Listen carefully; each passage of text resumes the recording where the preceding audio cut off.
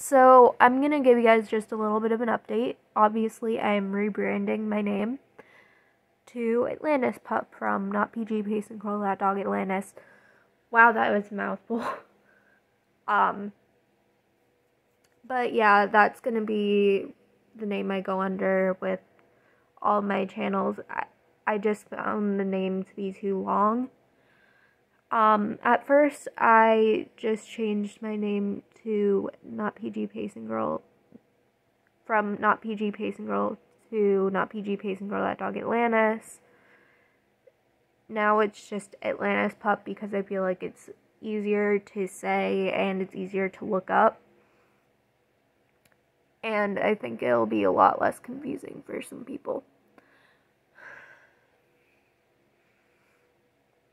So, yeah, that's now my Twitter handle, my Twitter name, my YouTube name. Um, it's not my Instagram name. nope, I'm not giving you guys that. You're gonna have to figure that out on your own, and good luck, because there's no evidence that it's me at all. um, so yeah. Atlantis Pup is a thing. Uh, wasn't expecting to change my name. Some people are gonna, not gonna like it. It's gonna be an adjustment. But it was just too long of a username for me to have.